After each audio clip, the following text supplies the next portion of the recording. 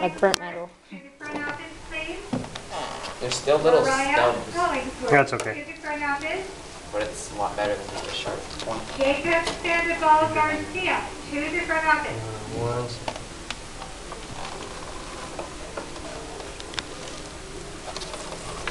Yeah, I was I was about to see if we are gonna leave like a gap of cork so the bridge will lay.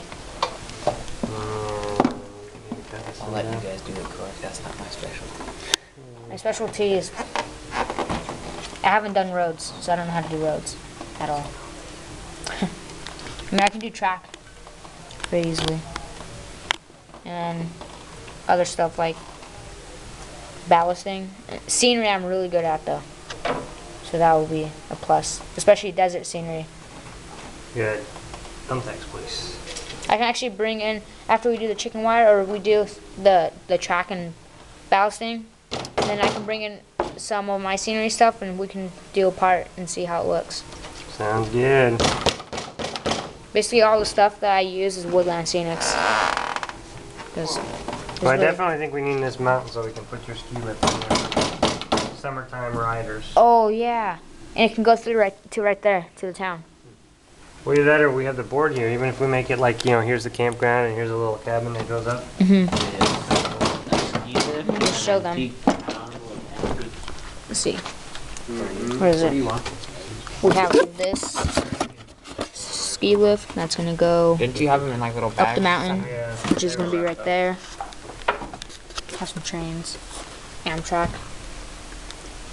Have 40 PH, some cars, more cars, my MKT, some of my cars, um, some Pacific. We have some tunnel portals, portals that are going to go.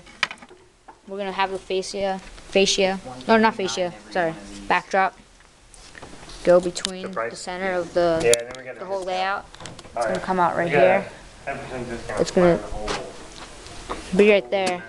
Then basically on each side, it's gonna be a ton- there's a tunnel portal, they wouldn't double it like that. It was one or the other. and there's gonna be another one, the other one over there. It's gonna be on the other side. Then we have some buildings that we need to make. Bunch of track Be able to see it seen stuff like Yeah, it's a wheels, extra wheels, filled with what? all that stuff. real ballast. Pretty nice.